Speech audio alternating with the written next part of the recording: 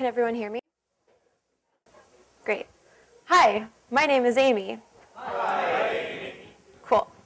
Uh, I'm an engineer at Venmo, and I'm an alum of the Recurse Center. If you are interested in either of those things, I'd be happy to talk to you about them afterwards. Um, and RC is formerly known as Hacker School. You might know it by that name. And today I'm going to talk to you about how reviewing code makes me a better programmer. So I want to start by acknowledging that we've all had some pretty frustrating experiences with code review. Like maybe you're coding away on this new like business critical feature and you finally polished all the details and dealt with all the tedious edge cases and you put so much time and energy to it, you like worked late and you're super proud of yourself for powering through it and like making your deadline. And then you open your work up for review and the reviewer is like, you did it all wrong, start over. This has happened to some of us probably, and it's clear that there's some breakdown of communication involved here. Uh, maybe you and your, your reviewer have different priorities, uh, or different valuations of the costs and benefits of getting changes out quickly, or your reviewer wants you to rewrite code their way but doesn't explain why. But code review isn't always frustrating. It can spawn into this enlightening conversation in which both the reviewer and the author learn how to think more deliberately about code. Once, I was reviewing a pull request that was a rewrite of some legacy code, and the rewrite had no unit tests. And at first I was pretty skeptical. I thought about just like commenting, being like, add tests, like why are you sending me this? Um, but I also noticed that the code wasn't hooked into production yet, so that kind of piqued my curiosity. And so I asked the author to walk me through his thinking on why there were no unit tests, um, or why he didn't think they were necessary. And it turns out that leaving out tests was a deliberate choice. The author had to, hadn't decided if this was the right implementation yet, so the legacy code was like confusing to understand, and rather than digging through it all and trying to determine what it was supposed to be doing by reading it, he like kind of tried to imitate it, and then was going to deploy this and test it on himself, on his own data, to see does the new code match the old code before writing tests. Um, and the problem here is that if he had guessed the behavior was wrong, he would have written tests locking down behavior for the wrong behavior, and then he would have had to rewrite all of them all over again.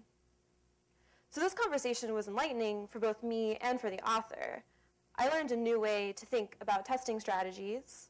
Um, previously, my approach was to dig through the trenches of the legacy code to deduce what the correct behavior was, and then try to replicate that. And that can be a huge time and brain suck. And this conversation gave me a new tool in my engineering arsenal.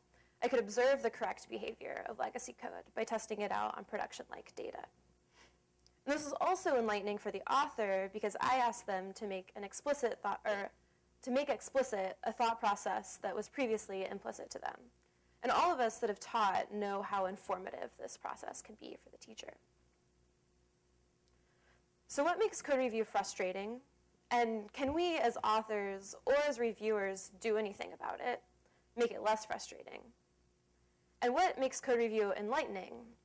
And how can we learn more from code review and make more of our reviews enlightening? So this talk is an attempt at answering these questions. And in order to aid the discussion, first we'll uh, make concrete what the responsibilities of a reviewer are, and then we'll discuss each of the, those responsibilities and try to reduce the effort that we need to spend on the less enlightening ones.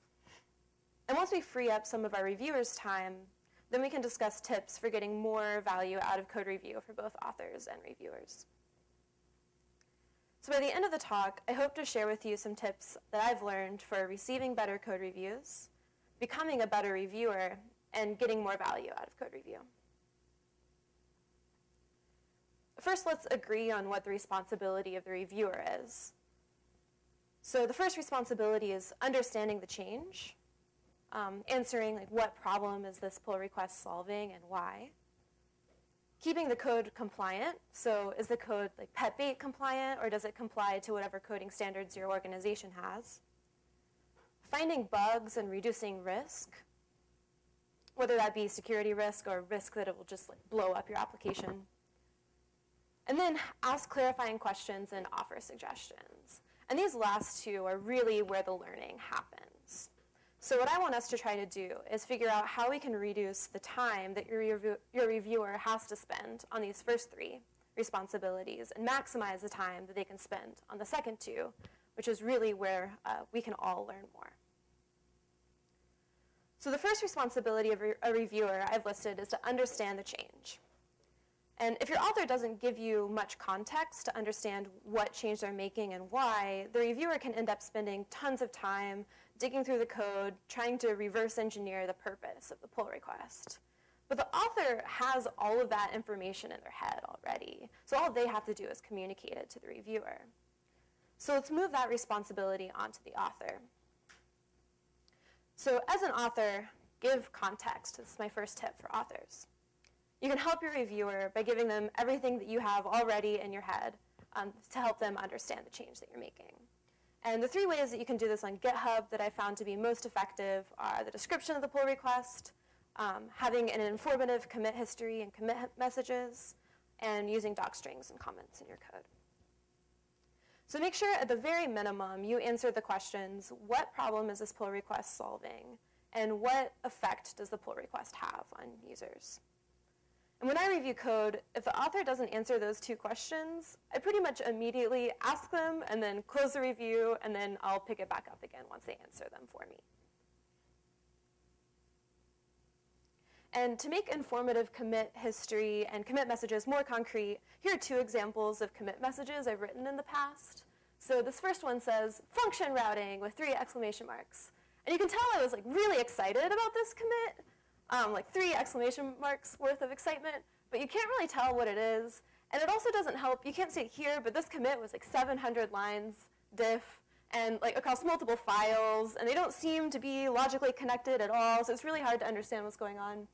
And then time, you know, maybe a year passed, and I got a lot better at writing commit messages. So the second one gives us lots of information. It tells us what I'm doing and why, and has a link to more information. So that makes the job of the reviewer uh, much easier. What I'm doing is no longer a mystery to them. So this kind of brings me to my next tip for authors, which is make small changes. Um, and this could, there could be an entire talk on how to have an informative Git history and commit history. Um, and it's easier to understand the diff if the diff is small. I, I remember seeing this tweet about how if you submit a PR with 700 line diff, the reviewer will be like, looks good to me. Uh, but if you give the same reviewer a PR with a one-line diff, they'll find 700 pieces of feedback for it. And this has been pretty true for my experience in code review. And more feedback means more opportunities to learn.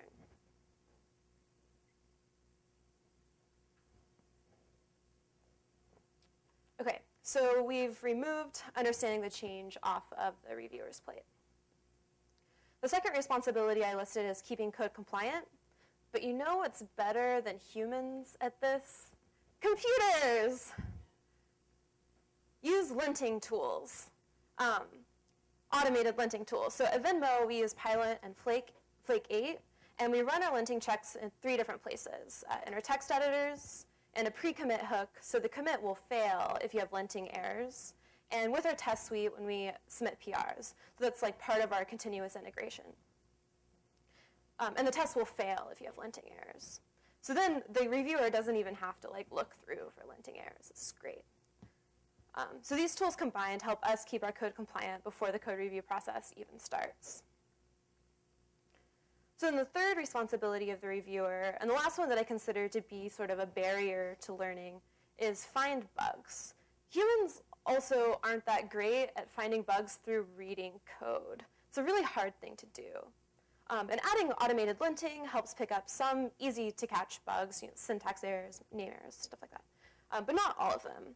And to help catch bugs, uh, we can also add tests and do a better job QAing our code and saying what plan we have to QA our code.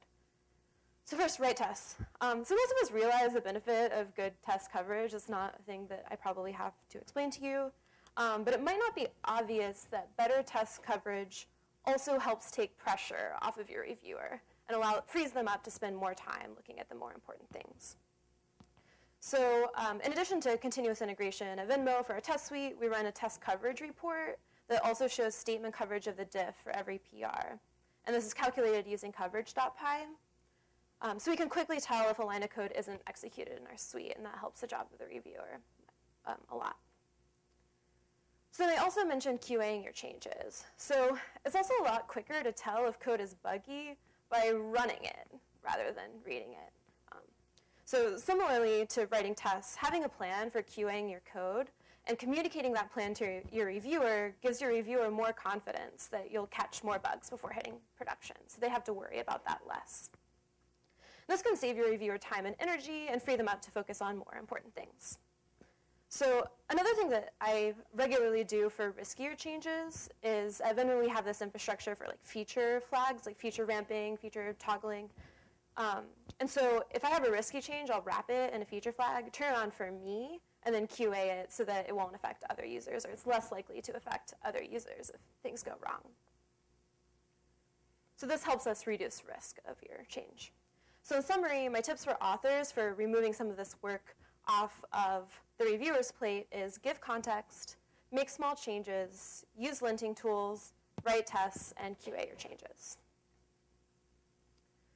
So adding this little bit of work for the authors and adding some dev tooling can help us take pressure off reviewers so they can focus on asking questions and giving feedback. And those two responsibilities are most likely to result in learning. So now that we have more time to do this, let's figure out what to do with this time. Um, Let's talk about how to get the most out of code review once we're focusing on these two things. So first we'll talk about this from the perspective of authors, and then we'll talk about it from the perspective of reviewers. Okay, let's talk about authors. Um, so one of the most common causes of frustration uh, in review that I've seen is a review at the wrong level of detail. So going back to my example at the beginning, if you're like 90% done with your work and your reviewer suggests a completely different implementation, they're probably giving you a review at a level of detail that isn't too helpful for you. On the other hand, if you open up a PR with a draft of a new design and you're like 30% done, it's entirely appropriate for the reviewer to suggest a diff different implementation. Might not be appropriate for them to leave a bunch of comments that are like white space. Like, I don't care about that, I'm 30% done. So this brings me to my first tip for authors. Tell your reviewer how done you are. This will enable them to give you the type of review that you want. It can also be super helpful to communicate other things like how urgent the change is to deploy and the impact of the change on your users. Um, and it's funny how much of these tips really just boil down to better communication between the two individuals. My next tip for authors is to ask for specific feedback that you want. So lately I've been specifically pointing out things that I don't like about my code to get some feedback from my reviewers on it. Um, I'll leave comments like, I really don't like this name. Does a more descriptive one come to your mind? Or this function doesn't seem to be at the right level of abstraction. Do you have any suggestions on refactoring it? And I'll get exactly the kind of feedback that I'm looking for. Uh, my next tip is get feedback early and often.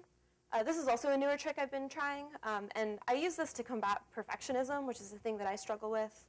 Uh, so I have this voice in my head that tells me, like, Amy, people pay you money to write programs. Your program should be great. They should be perfect. So then when I write code, I decide it's horrible, and then I scrap it, and then I start over.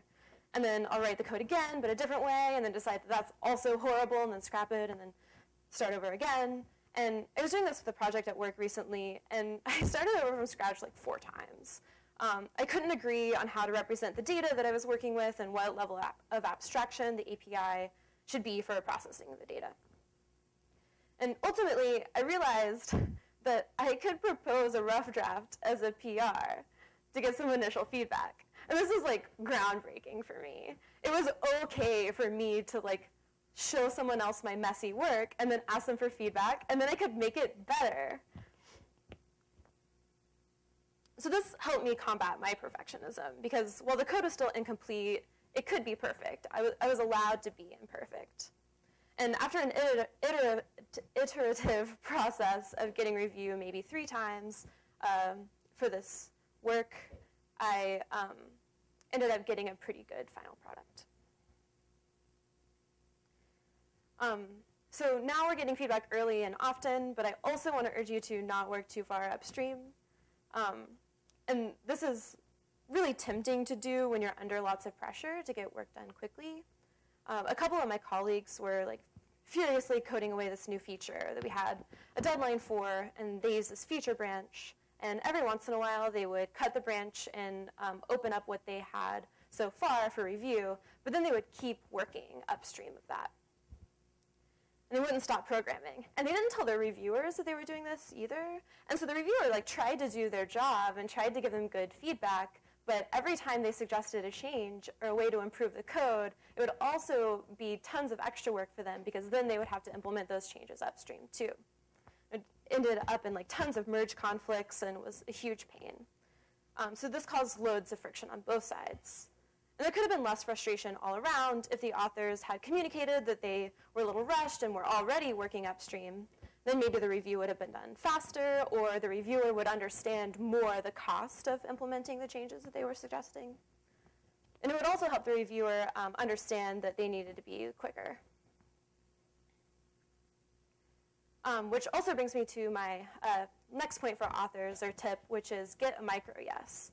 So a bit of an aside here, in a workshop that I was in on giving and receiving feedback, uh, Tania Luna from a company called LifeLabs New York suggested that the first step to delivering feedback is to get a micro yes. And it's a really small thing. Um, the way that you do this is you ask the colleague if they have a minute to discuss a topic that you want to give them feedback on. And if they say yes, then they've consented to having that discussion with you and they're less likely to get defensive during the conversation, and more likely to be engaged in that discussion with you. So for code review, I like asking the reviewer if they have bandwidth for a review, um, especially for sort of a more complicated one. And if they say yes, then they've consented to spe uh, spending the time it will take to give you quality feedback. And if they're low on bandwidth, then maybe they'll say no, and you can help avoid those situations um, in which code review takes forever, which would have helped our upstream authors in the story before. So my last tip for authors is to welcome questions. Um, this one's a little bit different. So I personal, personally am way more likely to feel comfortable asking questions to my colleagues who have historically welcomed questions from me in the past. So some of my colleagues have literally said to me, I love the questions that you ask, and I am a creature of positive reinforcement, so I will just keep doing that thing that they love. Um, and one way that the, uh, and so I guess building an environment that values learning and welcomes questions is outside the scope of code review too, right? It spans all throughout the ways that you interact with your colleagues. And one way that the Recurse Center fosters this environment for learning that they have is by enumerating some social rules, which are lightweight guidelines for behavior that are disrupt disruptive to learning environments. So a good example is their social rule against feigning surprise. So uh, we can kind of intuitively understand what this means, but let me give an example. So let's say someone's talking about compilers, and you dare to ask what a compiler is. And someone responds by going like, gasp, you don't know what a compiler is? And that kind of comment isn't helpful for the discussion or the conversation, and it's not helpful for learning. It's only helpful to try to make you internally feel a little bit better about yourself. Um, so what happens at RC as a result of having these rules, environment conducive to asking questions is magical. I learned more rapidly at RC than I did anywhere else, largely because I was free to admit when I didn't know something and free to ask questions. So in summary, my tips for authors are say how done you are, ask for specific feedback, get feedback early and often, but don't work too far upstream, get a micro yes, and welcome questions. So now let's talk about reviewers. First, I want to acknowledge that reviewing code is hard. Asking questions is hard, like we just talked about, and admitting that you know something is hard. So maybe the code is confusing to you and hard to follow, or maybe the author is using a design pattern that you're not too familiar with. But asking questions in code review when you don't understand something is one of the top ways that I've learned to be a better engineer and programmer. And I wouldn't have had that enlightening conversation with my colleague about testing that I mentioned at the beginning of this talk if I didn't ask questions when reviewing code. So similar to our discussion with authors, my first tip for reviewers is review at the right level of detail. So if the author says they're 30% done, treat the work like a draft and give feedback on the design and architecture at a higher level. And if the author says that they're 90% done, try to focus more on the details. If you struggle with finding feedback to give on code review, also as an aside, uh, I have a link at the end of my talk with uh, blog posts that I wrote on ask, uh, questions that I ask myself to brainstorm ideas for feedback to give on uh, code reviews. My next tip for reviewers is if the code is confusing, it's probably a problem with the code, uh, not with you. And if it's not, then it's an opportunity to learn. So especially for newer reviewers, it's really tempting to approve a pull request even if you don't understand every line. Um, so you rationalize this by thinking, like, they know what they're doing. I trust them. I'm sure it's all good. Uh, but if the code is confusing, it's probably a problem with the code, not with you. Um, ask questions to grow your understanding and ask the author to clarify themselves in code. It will probably be confusing for the next reader that comes along too. The worst case is that you'll help the readability of the code, and the best case is that you'll learn something new. My next tip is beta test your feedback. So when I started out giving code review, I was also pretty scared to leave feedback or make suggestions. I was worried that I'd get the tone wrong and I'd be condescending, or that I'd sound stupid, or I'd think, who am I giving this more experienced person feedback? Like, they know what they're doing. I, I don't know anything. Um, so in order to get over this fear, I tried beta testing my feedback. And what I'd do is I'd ask a colleague that I trusted if my feedback was reasonable, if there was anything that I could do to make it better, and uh, I would do that before I would leave a comment on their PR. And this helped give me confidence that the feedback that I was giving would actually be useful and would actually make the code better. And it also helped me get better at writing feedback. And my last tip for reviewers is when you're giving a suggestion, communicate the why, not the how. So let me give a couple examples here um, to illustrate this. An example of communicating the how would be use this itertools function instead. A more helpful way to communicate this feedback would be to communicate the why by saying something like, coercing this data into lists will pull all the data into memory at once, and depending on how much data we're working with, that might not be a good idea. This itertools function will pull only one chunk of the data into memory at a time, right? So you're telling exactly why you're suggesting this alternative approach. And communicating in this way helps share the way you think about code and what trade-offs you're considering. And this can help your author significantly. It's also respectful of your colleagues as smart individuals to do the best with the information that they have at hand to tell them why to make a change and not how to make a change. So in summary, for reviewers, my tips are review at the right level of detail, if the code is confusing, it's probably a problem with the code, not you, or it's an opportunity to learn. Beta test your feedback and communicate the why, not the how. So at the beginning of the talk, I told you I would give you tips on receiving better reviews, becoming a better reviewer, and getting more value out of code review. And I hope that now you have some ideas on how to get more out of code review at work tomorrow. Um, and before I end, I want to say a quick thank you to my friends, Julia, Kamal, Sasha, Tanya, and Jesse, who all helped me considerably in putting together this talk and brainstorming tips. Um, here's where you can find me on the internet, and thank you.